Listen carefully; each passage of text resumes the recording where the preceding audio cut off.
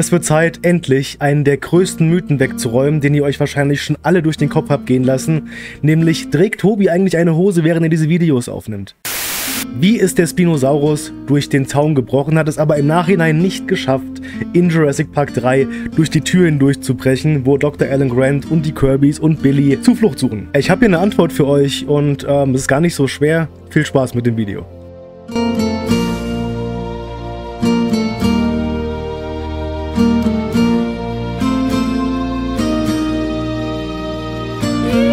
Wenn euch das Thema Kaiju interessiert, lasst einen Like da, abonniert den Kanal und aktiviert die Glocke. Um die erste Frage in diesem Video zu beantworten, nein. Für all die Jurassic-Enthusiasten unter euch, die jetzt vielleicht gar nicht wissen, wovon ich eigentlich gerade rede. Es gibt in Jurassic Park 3 eine ominöse Szene, die irgendwie für viele, naja, aber auch für mich, muss ich ganz ehrlich zugeben, so ein ungutes Gefühl hinterlassen hat. Wir sehen, wie Dr. Alan Grant und Eric Kirby es schaffen, vor dem Spinosaurus zu flüchten. Sie schaffen es gerade noch, sich durch so ein Loch in dem, in, dem, in dem Gehege, in dem Zaun unten durchzuquetschen. Und der Spinosaurus ist noch dahinter gefangen. Kurz danach atmen sie erstmal tief durch und denken sich, okay, die Gefahr ist gebannt. Auf einmal prescht der Spinosaurus durch diesen Zaun durch und du denkst dir, oh Gott, das war's. Unsere Helden rennen also auf einen Bunker zu, verschließen die Tür vor dem Spinosaurus und der kommt nicht durch. Und hier fängt das Problem an, das viele damit haben. Wie gesagt, hatte ich auch eine lange Zeit. Wie ist es möglich, dass der Spinosaurus durch diesen Zaun durchbrechen konnte, aber nicht durch diese Tür? Es gibt hier keine offizielle Antwort, aber wir beschäftigen uns dennoch mal damit und überlegen einfach mal ganz realistisch, macht das denn Sinn? Ja, da muss man gar nicht allzu lange überleben, äh, überleben, lustig. Da muss man gar nicht allzu lange überlegen, das macht definitiv Sinn. Gehen wir erstmal davon aus, dass John Hammond, der ja keine Kosten gescheut hat, diese Zäune, durch die der Spinosaurus hindurchbrechen könnte, normalerweise mit Strom, also mit sehr viel Strom versehen hat und das, wie wir aus den Jurassic Park Filmen wissen, für sehr sicher gehalten hat. Wir müssen überlegen, dass sogar der Tyrannosaurus Rex es geschafft hat, locker aus dem Gehege rauszulaufen und das Gehege auseinanderzubeißen, als der Strom weg war. Hammond hat sich also offensichtlich auf diesen Stromschutzmechanismus verlassen. Dass er dann die gesamte Verantwortung für so ein System einem verschuldeten, unsympathischen IT-Geek in die Hand gegeben hat, ja, es, das lässt natürlich schon so ein bisschen, mh, hm, ja, da muss man schon mal das ein oder andere Auge zudrücken. Aber Hammond scheint sich wirklich auf diesen, auf diesen Stromzaun verlassen zu haben. Doch dazu muss man sagen, dass Isla Sorna ja schon sehr, sehr lange Zeit verwittert ist. Nach der Zerstörung des Hurricane Katrina gab es da ja auch keine Wartungsarbeiten mehr. Das heißt, der Zaun ist nicht nur stromlos, er hat diesen Stromschutz nicht länger, sondern inzwischen müsste er auch wirklich porös sein. Aus diesem Grund konnte der Spinosaurus locker hindurchlaufen. Nachdem ihm das dann also auch gelungen ist, prescht er quasi auf unsere Helden zu und die verschanzen sich in einem Schutzbunker, schließen die Tür und da haben viele von euch geschrieben, ja, eine Holztür.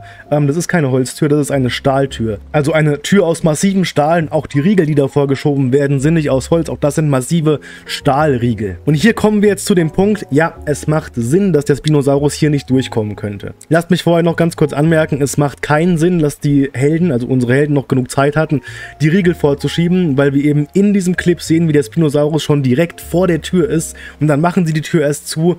Eigentlich müsste er in dem Moment schon hindurchgebrochen sein, aber sie haben noch genug Zeit, in die Riegel vorzuschieben. Das ist natürlich Schwachsinn. Aber es gibt Hochsicherheitstüren, die genau für sowas gemacht wurden. Nicht für Dinosaurier natürlich aber Hochsicherheitstüren, die wirklich dem Einschlag von Bomben oder Granaten standhalten müssen. Der Unterschied zu dem großen Gehege hierbei ist, dass, dass hier die gesamte Kraft des Stahls auf einen sehr kleinen Punkt fixiert ist. Während das Gehege ja auch ziemlich viel Spielraum hat, also ziemlich viel Luft hat, weil es eben ein Gehege ist, man soll der Saurier auch sehen können, auch wenn die da nur aufgezogen werden, sollten ja Mitarbeiter sehen, was da abgeht. Aus diesem Grund hast du eben keine feste Schicht, sondern du hast immer wieder kleine Luftlöcher, Hohlräume quasi in diesem Stahlwerk. Ihr könnt euch das Ganze vorstellen wie mit einem Blatt Papier. Wenn ihr das einfach nehmt und habt es in DIN A4-Format, könnt ihr da locker hindurchstechen. Je öfter ihr das Ganze aber knickt und überfaltet, umso schwieriger wird es. Und auch hier haben wir eben den Fall, dass diese Stahltür ja im Vergleich zu dem Gehege sehr klein ist und auch sehr massiv. Das heißt, wir haben hier wirklich die gesamte Kraft dieser Stahltür auf so einen Punkt gesetzt. In diesem Clip, der relativ zum Anfang des Films spielt, sehen wir sogar, wie der Spinosaurus wegen zwei Bäumen im Urwald nicht weiterkommt. Also diese beiden Bäume scheinen stark genug zu sein, um den Spinosaurus aufzuhalten. In diesem Sinne möchte ich diesen Mythos ganz kurz beantworten. Ja, es macht definitiv Sinn. Wie gesagt, dass der Spinosaurus eigentlich schon vor der Tür gewesen ist und die noch alles zumachen könnten, das sei mal dahingestellt. Aber eure Fragestellung ist gewesen, wie kann es sein, dass der Spinosaurus durch das Gehege durchkommt, aber eben nicht durch diese Stahltür? Ganz einfach, Die Stahltür ist um einiges massiver als das Gehege, zumal weil eben die gesamte Kraft dieses Stahls auf einen kleineren Punkt fixiert ist und eben auch weil John Hammond den Park mit dem Strom gesichert hat und wir auch in Jurassic Park 1 gesehen haben, wenn der Strom nicht mehr aktiv ist, ist es ein leichtes aus dem Park auszubrechen. Der T-Rex hat es vorgemacht, der Spino eigentlich nur nach, von daher passt das alles auch irgendwie schon in das Konstrukt mit rein und ich hoffe, ich habe dir damit ein bisschen weitergeholfen und dieses Problem gelöst und da kommt der Hund. Du hast so gar keinen Bock, dich gerade auch nur ansatzweise zu bewegen, gell?